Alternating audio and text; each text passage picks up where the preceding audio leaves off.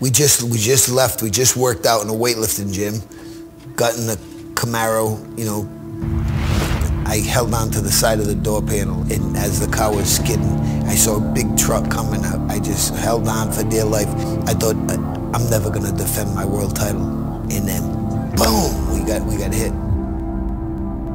Good evening. Rhode Island's own Pazmanian Devil is in Kent County Memorial Hospital tonight with a fractured neck. I was on the table, and the doctor was talking to me, and they was giving me all kind of details, you know, C3, C, C4, and I like just said, Doc, cut through the shit. Please just tell me, can I fight again or not? Dr. Carter had a tear in his eye. I could tell he felt for me. And he said, son, I'm sorry to say you're not gonna box again.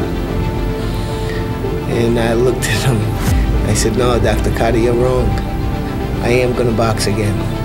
He said, you don't understand what kind of man I am.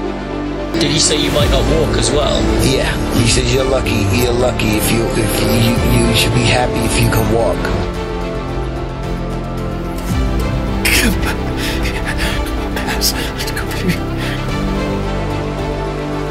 You just don't know how to give up.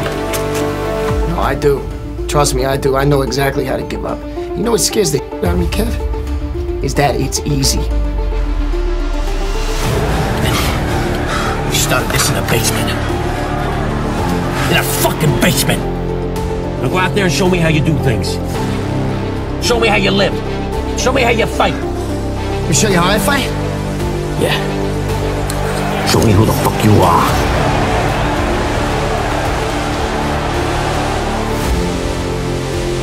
What was the biggest lie you were told? It's not that simple.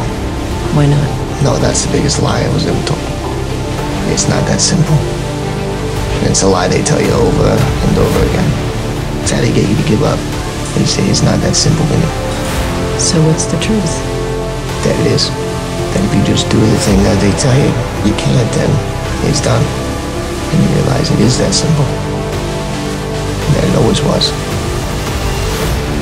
After months of rehab against doctor's orders, he got back in the ring and won another world championship.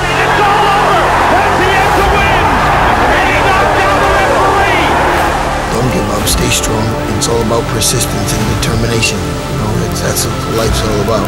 You got to be persistent and determined. Life is like a fight. You know, you have your good rounds and you got your bad rounds. You know, you got ups and downs. Life, life is a fight, and uh, you know, no one, no one fights better than me.